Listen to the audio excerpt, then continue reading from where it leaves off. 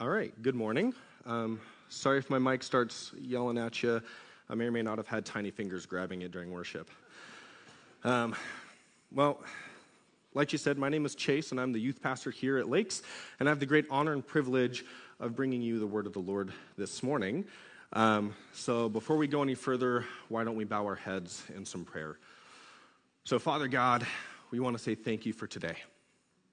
Jesus, thank you for this opportunity for us to gather here together. Thank you for this opportunity for us to worship you together in spirit and in truth. Lord, we ask that you'd be with us. We invite you, Holy Spirit, to just fill us and indwell us today. And God, as Josh said, give us soft hearts that we're willing to hear what you have to say to us this morning. And God, when I preach your word this morning, please give me your words and nothing but your words, Lord, so that I would speak your truth and nothing more and nothing less. In your name we pray. Amen. All right, Caitlin, do you actually mind tossing me my water bottle? Actually, you're fine. You're fine. One second. Don't worry about it. Okay. Um, there's a reason why it's okay because I'm actually going to be sitting down here in a second because we're going to be watching a video. Uh, it's going to be about two minutes and 30 seconds, but this video is actually, oh, thank you very much, Kyle. This video is actually um, a video taken from our uh, missions trip that we just took as a youth group. Uh, last weekend, we went over to Whitefish, Montana, and it was actually it was a, a service trip. So what we do is is we go over Thursday, we drive Thursday over to Whitefish, Montana. Takes us about five and a half, six hours when it should take you four and a half hours. Uh, it's what happens when you have 13 little bladders. But um, we go over there, and then on Friday, we will serve that church for about an eight hour workday, is what we ended up doing this year. And so some of the things that they did is, is they cleared out a fire pit area of all its weeds. They leveled it with shovels, and then they came in and brought in about three inches of gravel to put in it and like an eight, eight foot radius around the whole thing. Um, they sanded and stained three picnic benches. They weed whacked a lot, and I, and I mean a lot of weeds. See, we had two students who weed whacked for seven hours straight. And so when they were weed whacking the whole time, because they have a, a frisbee golf course at that church, and they had like three or four holes that were just overgrown with weeds that they didn't have time to take care of. And so we had two students, Mia and, and uh, Lily, they were just weed whacking the entire time. And when they ran out of fuel or they ran out of line, they came to me, and that was the only break that they really got except for lunch, was when I would have to fill it up with fuel or, or replace the line. And I actually talked to one of them uh, last Wednesday. I was like, How are your arms feeling? She's like, They still feel like they're vibrating. So, which, I mean, seven hours of weed whacking, that's, that's what you're going to get. Uh, so they did that um, they, they cleared some debris, debris from a storm because they, you know, you guys had the hailstorm, and then we got a massive lightning and rainstorm that night. Um, I think, or the day after you guys had the hailstorm. And so there was a bunch of debris that needed to be cleared out. And so I strapped on a little uh, leaf blower, a, a, gas leaf blower that was bigger than the little girl who was uh, operating it, um, which that was pretty fun to watch. I would try to start it and I'd almost pull her over. Um, and then they moved about two cords of wood uh, which was actually wood that we chopped two years ago and left deep in the woods. And so we had to back up a trailer deep into the woods, load up that trailer, then shift it so that way they could have wood ready and functional for the fireplace that we just leveled out for them. Uh, and then there was a lot of like trashed wood frames that were deep in the woods for whatever reason, and we had to move those over to a burn pile. So, and I'm sure that there might have been a couple other things that I forgot to say, but but these kids worked hard and I am extremely proud of them. And as a church, we should be proud of the young people that we have attending here because to get 13, 12, or 13 year olds to work for eight hours straight and, and not really have a whole lot of issues, like, man, that's impressive. And so I was really impressed with the work that they did today or last week. And, uh, and one of the things that, that I was really happy about with this whole service trip is that these students got to learn that the church is bigger than this church right here they got to learn that the kingdom of God extend, extends into a lot of different areas. And so they got to serve the Big C community church, right? They got to serve the kingdom of God, and they got to learn what that meant. Um, so before I get any further and start spoiling some stuff, we have a video for you guys to watch, and so we will watch that together.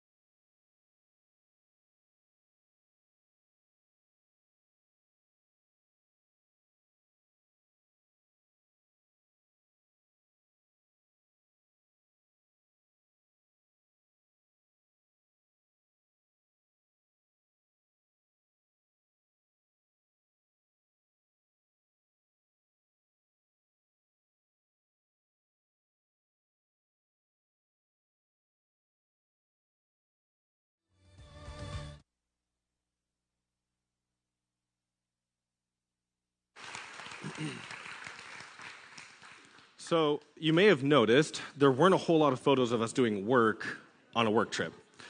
Um, I promise we did some work. Uh, but the problem was is when we got to working, I got to the end of the day and I was like, oh, I forgot to take photos and videos. And all my leaders were like, oh yeah, us too. Um, so we just forgot to take photos because we were too busy working, and I guess you'll just have to trust me on that. If you really want to follow up on it, you can call that church and see if we actually did work. Um, but one of the things that, that I didn't plan on talking about, but I do want to talk about, just because it was just such an amazing thing that God did for us on that trip, is when we actually got to that church, they have, I don't know, Glenn, if he's here, if it was like a quarter mile driveway or something, it's a pretty long driveway. And uh, when we parked the truck or the, the bus, I put it in reverse to get the trailer in a better position, and it died. I was like, what the heck just happened? So, without thinking, I just started it back up and I moved it. Um, and then I drove it around a little bit more. And then we came back to find that there were pools of transmission fluid on the ground where the bus had been parked. And then we looked up that really long road and we saw just this trail of transmission fluid as we were coming down the transmission oil. And so um, we were like, what the heck is going on? And so Glenn actually spent the majority of our workday trying to figure out what was going on. And by the grace of God, the bus worked and we were able to get it back here on time. So that was just a little miracle that God worked for us there. Um, so he wasn't, he, he's got a good excuse as to why he didn't take photos. I don't have the same excuse uh, because I was there doing it. But um, as you saw, the next day after we did our, our service trip, we had the opportunity to join the youth group there for some baptisms down at the city beach. And uh, it was absolutely amazing because during that baptism, which was this 18 year old girl whose family isn't in the faith, and they told her that she needed to wait till she was an adult to get baptized, and she honored her parents and did that. But in hearing her story, I had three students, which you saw get baptized, come up to me and say, Hey, we want to get baptized. And so I was like, oh my gosh, are you sure? And they're like, yeah. I was like, really, are, are you sure? They're like, yeah, we're sure. I'm like, okay, do you understand that what you're doing is, is you're making a public commitment to live for Jesus for the rest of your life and you're proclaiming him to be your master and savior and that you've accepted him into your heart? And they're like, yeah, yeah, that's what we're doing. I'm like, okay, are you sure that you want to get baptized though? They're like, yeah, why are you asking so many times? I, I don't, they didn't say that, but I'm sure that they could be thinking that. And the reason why I want to do that is because I didn't want them to get baptized out of an emotional hype of, of wanting, oh, other people are being committed, so I want to be committed too. I wanted it to be a genuine commitment of faith. So I asked them an annoying amount of times if they really wanted to be baptized, and they remained steadfast in that, and if they knew what they were doing. So they asked Glenn and Hannah and me uh, to baptize them because those were leaders that had um, really done some, some good work in their life. And uh, as we had the great honor and privilege of, of, baptizing them, I found out two of them accepted Jesus that very day and wanted to get baptized for him. So yeah, let's let's celebrate that. As a as a church, we should really be celebrating that. And then the third one, she actually got saved at spring retreat, but didn't tell us.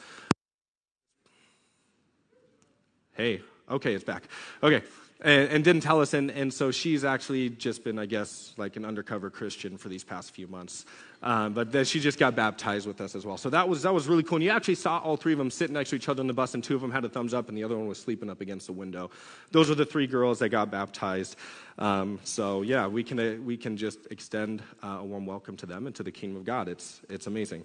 So it was a truly amazing experience, and I, I thank God for the opportunity to do that, and I thank God for the co laborers that I have with me in the youth group. Um, and I'll say that with, without that faithful service to those youth students, I don't believe that these students would have had an opportunity to come to know Jesus. At least, maybe not yet. You know, because who can say when their next opportunity would be there if these youth leaders hadn't been there for them, right? And I believe that this is true for the students who found God at Spring Retreat. Um, we had multiple students who came to Christ at Spring Retreat as well. And I believe that it's without the leaders who are serving faithfully in the youth group, those students wouldn't have the opportunity to have found Christ. Or, or even for the students who already know Christ, who've grown up in the church, like Lincoln. I'm going to be calling out a lot of names today. Lincoln will be the first one, right? Without the people serving faithfully there, these students wouldn't have the opportunity to know God or grow in their faith in God, right? That's reality. Okay. So, without Glenn's, Caitlin's, Hannah's, Emma's, Jordan's, and now Joe and Jamie, who are stepping into the youth program, and they actually helped us at spring retreat. Um, without these people serving faithfully, and I'll even put myself in there, without us serving faithfully, these students wouldn't have the opportunity to know Jesus. They wouldn't have the opportunity to connect with the certain leaders, which is why two of the students were like, wow, Hannah has really spoken life into me. I want Hannah to be one of the ones to baptize me. And one of them was like, Glenn's my favorite person in the world. I'm like, yeah, me too. And so she wanted Glenn to come and baptize her. And I got to be there just because I was the pastor. But, but these were leaders that have spoken life in these students' lives. Because of their service, these kids came to Christ and, and they got to see the fruit of their labor in baptizing those students with me.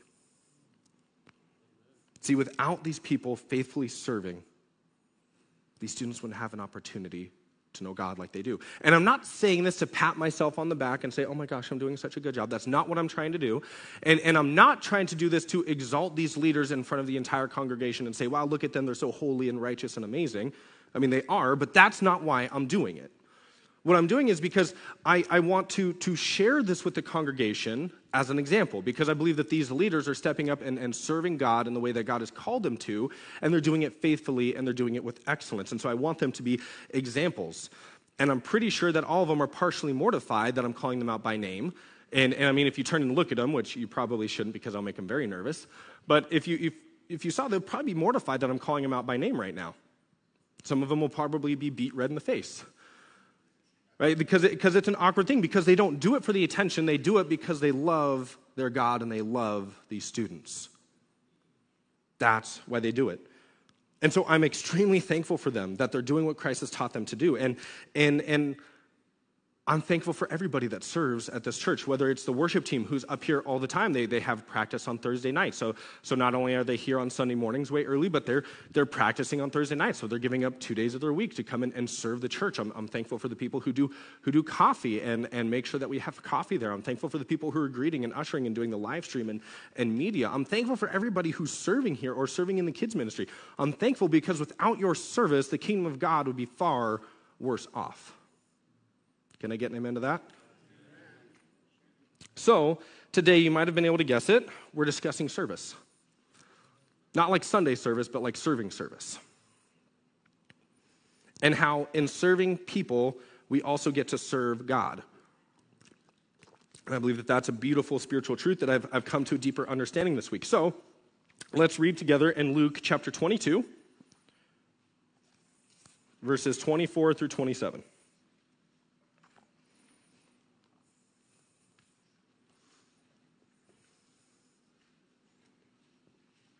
This is what it says. Now there was also a dispute among them, the disciples, as to which of them should be considered the greatest. And he said to them, The kings of the Gentiles exercise lordship over them, and those who exercise authority over them are called benefactors, but not so among you. Let him be as the younger, and he who governs as he who serves. For who is greater, he who sits at the table or he who serves? Is it not he who sits at the table? Yet I am among you as one who serves. What a powerful statement from the creator of the universe. This word serve actually, I'm going to try to pronounce it. I spent actually way too much time trying to learn how to pronounce this Greek word. And it's, it's diakoneo. It means to serve. And, it, and it's, it's actually the word that we get deacon from, which are just like head servants within the church. So, like Jessica Hamp, she leads the coffee. She would be the, the deacon of coffee, right? Amen for the deacon of coffee, right? And, and so, you know, we have, we have Scott Gardner, who's, who's over the sound and media. So he'd be the deacon of, of sound and media right? This is the idea of service that we get. This is the same word that we get the word deacon from. But this, this word, is, it's actually distinct from being like a slave or, or a, a servant like that, but it, it, it's a different word for serve, and it carries the basic nuance of personal service. Personal service. Not enslavement, but personal service. And that's a big deal but when you look at this text that we just read, what might strike you as odd? Um, perhaps it's the fact that the most powerful and holy being that has, will, or ever will exist, has, does, or will ever exist. Maybe it's the fact that the most powerful being exalts service as being such a high virtue. That's kind of odd. And, and in fact, it's, it's not just such a high moral virtue that he establishes, but it's, but it's so important to him that he himself comes to this earth not to be served, but to what? Serve. You might have to be a little bit louder for me today. I'm used to the youth group where they'll just start shouting at me and we, we start talking back and forth. So, but I have to tell you guys that every time I preach. It's okay. We'll, we'll get there. We'll be there together. But he comes as one who serves. But maybe it's not the fact that the creator of the universe thinks about service as being so important, but maybe it's the type of service that's being rendered. See, see, Jesus, the type of service that he talks about, do you guys know what type of service he talks about? We actually saw it in the text. What was he talking about? There was somebody sitting at a table and somebody serving it.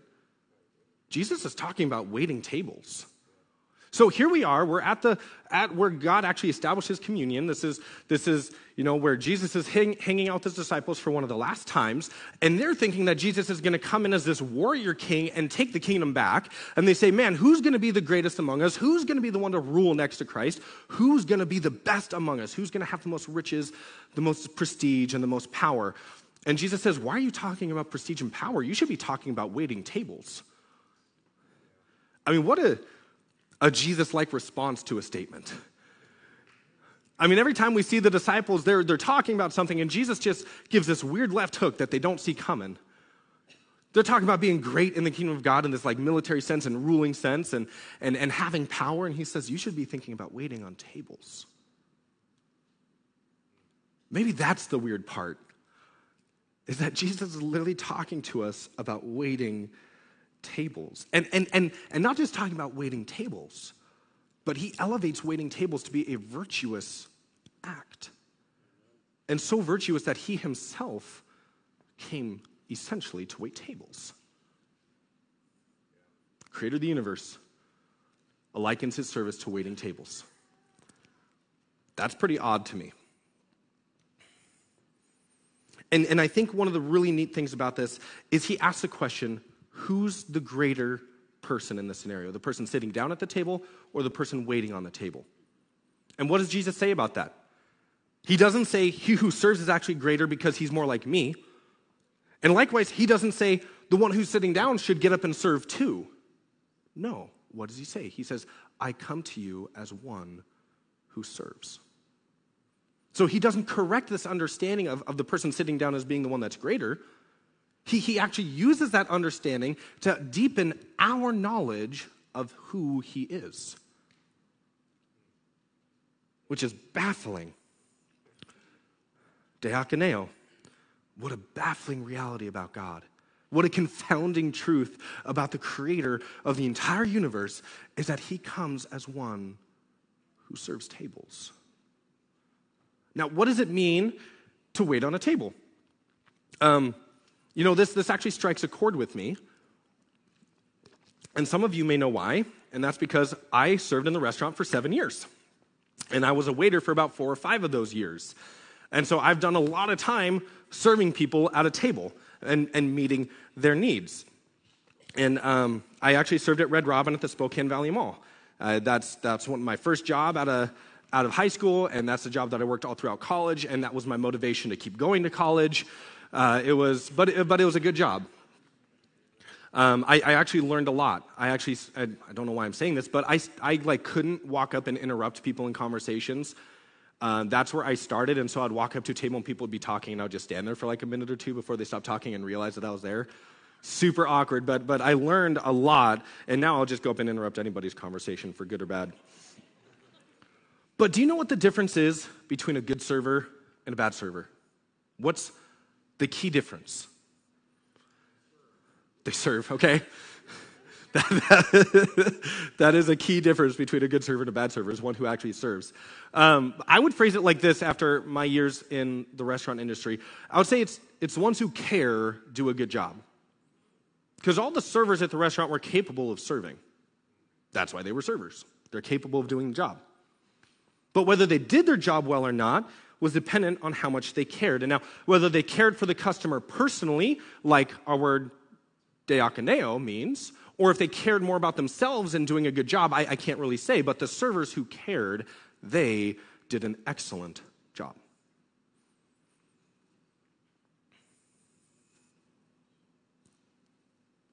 Why is that? Well, see, if you don't care about the people sitting at your table, you don't care if, at least in Red Robin, because we do frills, it's fry refills. So we, I haven't worked there for years and I still say we. They do fry refills, we call them frills, right? If, if you don't care, then you don't care that the people are out of fries. If you don't care about those people, then you don't care that they ran out of their drinks. If you don't care, then you don't care that their burger didn't come out how they wanted it. You just don't care. See, it's the servers that didn't care that I would see them in the back texting or, or eating their own food while their food was up in the window getting cold, or the people were, were waiting for the refills and hadn't seen their server for 10 minutes. And of course, there are times where, where servers would just be struggling and drowning and having a difficult time. But there was a lot of times where servers were just wasting time because they didn't care about their tables. And did those people get good service? No. Now, what about the servers who did care? They cared that the people's drinks were, were halfway down, and, and then they would ring in a new one and bring out a drink when their, their drink was halfway empty. Or if they were like, oh, wow, that table's already eaten like half of their fries and their t- plate's been there for six seconds. I'm going to get some more fries coming out to the table. Oh, they just, you know, dump some sauce on the ground. I'll get more sauce coming out there. But, but how are they able to know that that's all happening? They're paying attention because they care. The only reason that they're able to do that is because they care. And uh, I know that when I was serving at my best and at my peak, uh, it was typically when I had friends or family sitting at my table. I would have friends walk in, and, and there were some guys from the, the young adults group that, that used to come in Red Robin, and I would, I would send fries to their table before I even got to see them. Or if my mom walked in, I knew that she wanted a sugar free peach iced tea with lemon and a straw with extra ice, right? She wanted that, and I would get that to the table. I knew that, that my nephew, his favorite thing was the Royal Burger without tomato. So I would just have that going. Because I cared. And I cared a lot more, whether that reflects good or not on me. I cared a lot more about my friends and my family than I did the strangers in my section. And so when my friends and family would sit down, I, I would prioritize them over the other people in my sections most of the time, unless my parents were like, hey, we, you, you're fine, go and you know, go serve the other tables. You'll still get a good tip from us, it doesn't matter. But I deeply cared. And so I was able to serve them because I was watching, I was paying attention. I knew what their personal needs were, and I knew what their personal preferences were because I knew them and I cared about them, right? So, and if you know somebody, and if you have somebody, and I was actually talking to Caitlin about this, I just remembered there was this family that would come in, and this guy would drink like seven root beer floats in the, in the time that he was there with us, because we had bottomless root beer floats. It was like $5.99 back then, and, and it's probably like $16 now. But it's $5.99 for, for root beer float, so I would get a root beer float and then a refill out to him before I could even get to the table as well. Why? Because I knew him and I cared. I knew him and I cared. That's why I would do that. If I don't know him, can I know that he's going to have seven root beer floats? No. And if I don't care about him having a good experience, is he going to get seven root beer floats? No. See, the, the best servers that were there were people that would get to know their tables Uh, whether they're regulars or just get to know their tables while they're there. Are they, are they paying attention? Are they demonstrating that they truly care? So when Jesus talks about coming as one who serves in light of serving tables, that struck a chord with me because I'd done it for so long. And for whatever reason, I had never read this as being waiting tables. In all my years as a Christian, this last week when I was reading with this, this was the new thing that popped up to me. I'm like, wait, Jesus, there's a guy sitting down at a table, someone's serving this. Jesus is talking about waiting on tables. This is amazing. That was some new knowledge for me. But what is Jesus trying to say when he's talking about service and waiting on tables? And he says that I've come to serve you like this. Jesus is saying that he's watching, that he's paying attention, that he knows you that he's come to know you. He says, I'm watching you in the best way possible. I care about who you are, and I've come to serve you where you're at. That's what he's saying. Jesus says that he cares. See, he didn't just come to check the box of serving, like, oh, the Father's told me to come and serve. I guess I'll come and serve. And it's, it's not like, I mean, it would have been good enough, right, if Jesus came down to serve humanity as a whole and die for us and not know the individual, right? Because then he still grants us salvation. That would have been good enough, right? And we would still be thankful for a God who saves us, even if he doesn't know us personally, right? That would have been enough. But no, Jesus takes it one step further, as he always does, and he makes it personal service to the individual. What a confounding truth about God and a baffling reality about who Jesus is. He comes to serve personally. He came to care for us deeply and serve us where we're at. See, the way that Christ serves his people and his God is in a personal fashion. And the best servers I ever worked with made their service personal. Because true and meaningful service is service to a person, not an organization, and not a cause. True service is service to a person, and Jesus demonstrates that. So if you're serving at this church, I hope you're not serving for the building or even for the leadership. I hope you're serving for the people in it. And I'd even go as far to say that if we lose the personal touch and service, I think that we lose true and meaningful service. Can I get an amen to that? So, as I served, I also saw another principle at work. And sorry, I'm not trying to talk about myself so much, but this is just, I have a lot of life experience and like, I don't fish, so I don't have fishing stories. This is the one thing I have stories in, so I gotta milk it.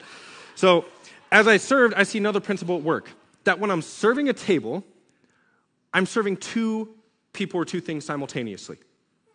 And actually, Pastor Scott helped me to come to this realization. Right? When, when I'm serving the table, I'm serving the people there at the table, but I'm also serving the restaurant, am I not? For I'm providing a service to both. The restaurant gets its money, the people get their experience and their food, and hopefully without tomato. And I, I'll just say, I don't know why, but people freak out about tomatoes on burgers. That's the one thing I've been yelled at more as a server was that there's tomatoes there. I'm like, you can just pick them off. Okay, done. So I'm providing a service for both of them. I'm serving both the restaurant and I'm serving the people there. So simultaneously, in one act, I'm providing service to two people. Likewise, when we humble ourselves and we serve like Christ served, we're serving two different people at the same time. When we went on the service trip and the youth leaders were serving the students, whether they're making them a meal or, or helping them with, with any meds that they might have to take or, or helping them with a job that they were doing, when they were serving that student out of love for them, who else were they serving? Jesus can say it louder. They were serving God at the very same time. And why is that? Because they were serving God's children.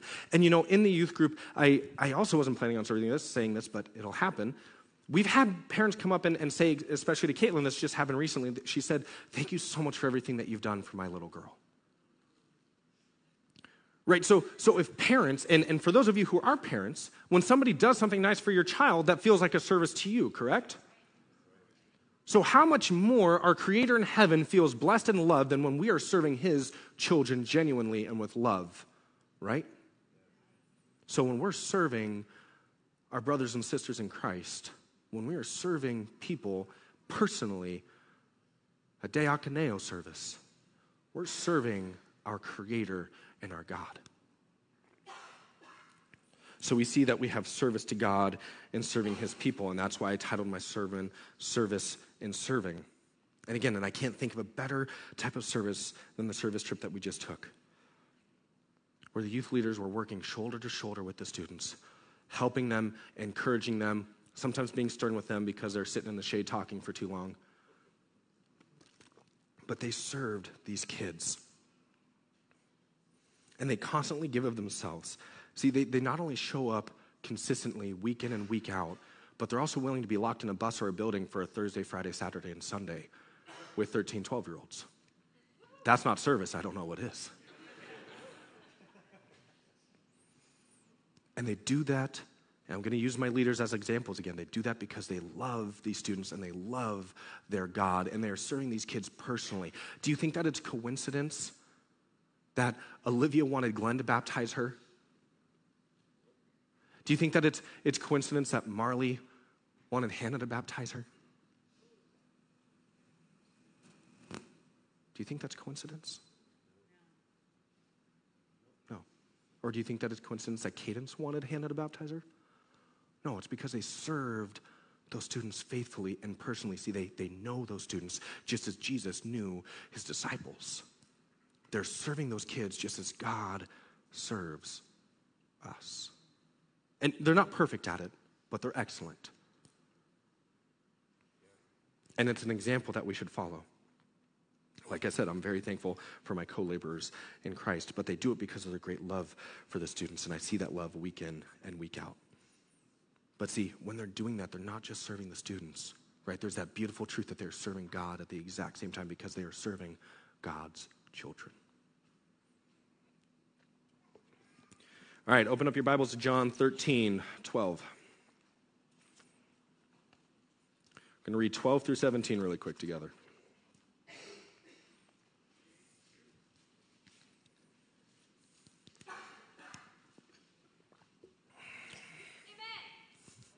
There you go.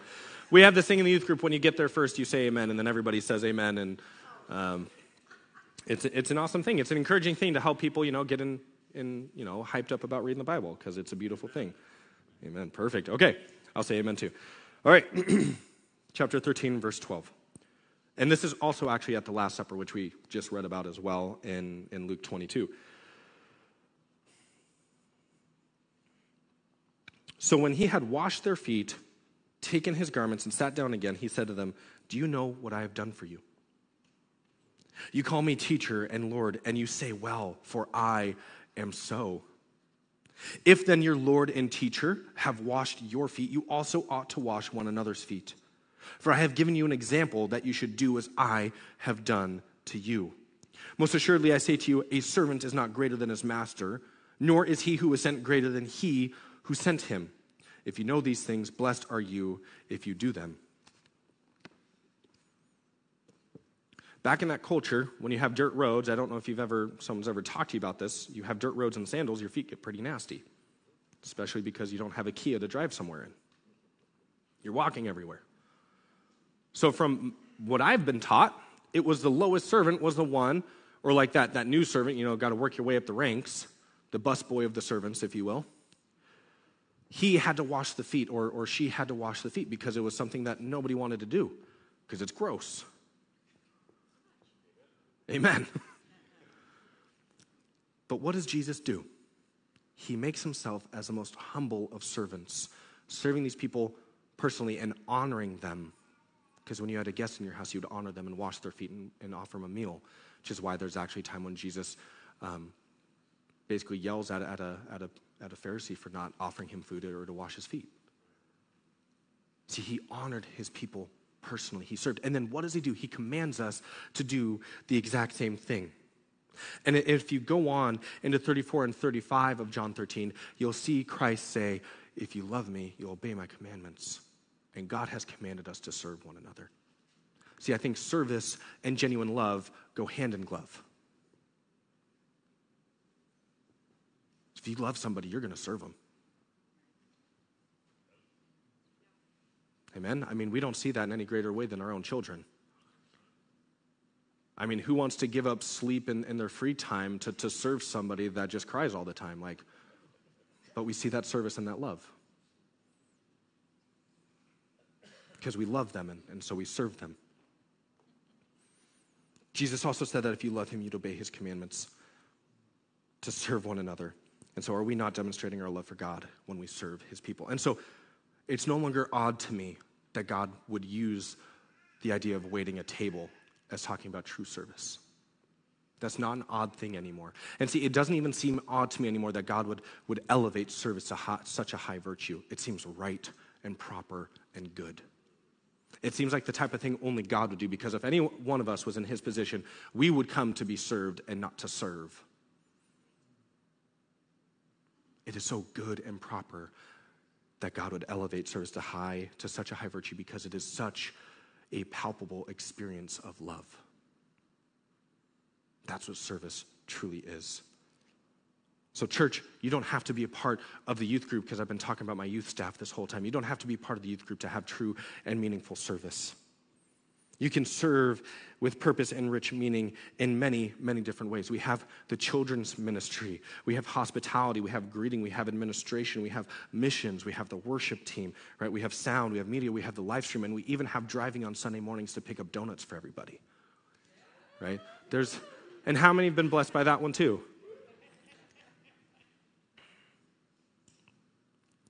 There are so many ways that you can serve.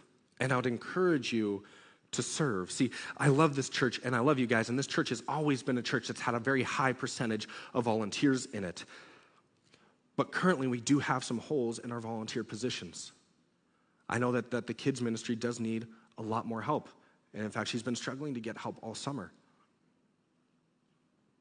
So, church, please, for the love of your God and for the love of his people and your brothers in Christ, your sisters in Christ, serve. Now, if this feels like a guilt trip, I really don't want it to be. But I do want this to be a call to action. Because if we love God, we will serve his people. Amen? And now I don't want you to say, oh, wow, that pastor guy, he just wants us to go and give him free labor. I do, but that's not all I want. Okay? I, I want you to be serving your God because he tells you to. I want you to be obeying your God because He's your master and He's your Lord, just like those three girls who said, Yes, Jesus is my master. He's my Lord. He's my Savior.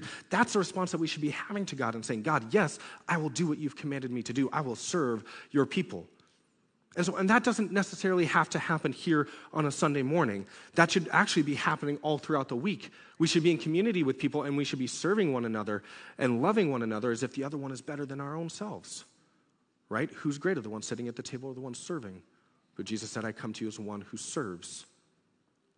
Is that not an admission that the person sitting at the table is greater? Is that not Jesus saying that he accepts that and that he's going to take that, that humble position? Is he then not telling us to do that ourselves? See, because, church, I don't, I don't know about you, but our God is a great king right? And we see that in, in, Malachi 1. He is a great and mighty king, and he came to serve. And so, if our great and mighty king is serving, who are we to do any different? Now, I'm not just saying you have to serve here, serve everywhere elsewhere. And if this does feel like a guilt trip to you, then please go elsewhere and serve elsewhere, but serve because your God commands you to serve. Not because some preacher told you to on a Sunday morning. Serve because your God tells you to do it. And, church, I don't think that we can understand how our service will truly affect the kingdom of God. How will our actions today ring out in eternity? I don't know. But I do know that three more souls, if they continue in the faith, will live with Jesus for eternity because of the actions of my youth staff. And how does that change the lives of their children later on? What effect has the service of Hannah, Glenn, Emma, Caitlin, Jordan and Joe and Jamie, what, what effect will that have in eternity? I don't know. Likewise, when you come on a Sunday morning, why do people stay here? It's really hard to say. Why do people come to know Jesus? Is it partly because of the smiling face that opens the door and says good morning, because that's one of the first people that's actually shown them kindness in the past month? Is it that it's, it's hard enough for them to actually walk into the front door, let alone shove past people to find a seat for themselves so they, they have somebody who helps them find to a seat? Is it, is it because that they, you know, were up all night and couldn't sleep, and so now it's because of our deacon of coffee that they're able to stay awake? What, what is it that enables people to really see the Lord? And how will our service affect that? I don't think we'll ever truly know until we get to heaven what our actions, how our actions will affect the kingdom of God. Just like I did not expect three kids to get saved on a trip where there was a lot of manual labor. But it happened. I had no expectations of three young girls coming to know Jesus Christ as their Lord and Savior after I gave them power tools and made them carry a bunch of wood. There was no expectation of that happening, but Jesus did his work. And I had no idea, but, but it happened. Likewise, you will have no idea what your service will actually do in the kingdom of God. And maybe we won't know, like I said, until we see Jesus in heaven, but it will have an effect, and your service to God will ring out in eternity if you so do it genuinely and you humble yourself like Christ and serve like Christ. Can I get an amen to that?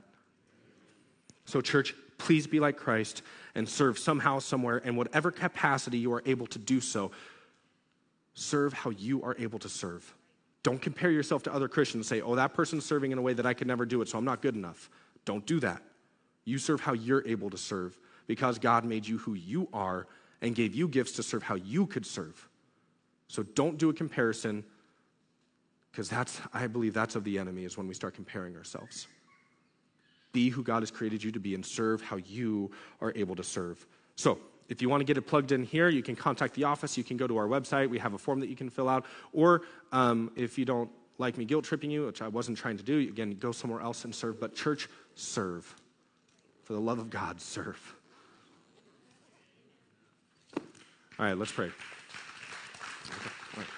Well, Lord God, thank you so much for today. Thank you for this opportunity. And Lord, thank you for your word. Jesus, we love you so much. And I just thank you for the opportunities that you give us to serve, that you love us enough that you'd come and serve us, and that you'd love everyone else enough that you'd tell us to serve your children.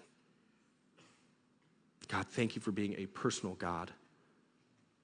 Thank you for being a God that knows us personally and loves us personally. Amen. So, before you go, we have an elder who's going to come up and, and give you a word, and, and uh, then he'll be the one to dismiss you.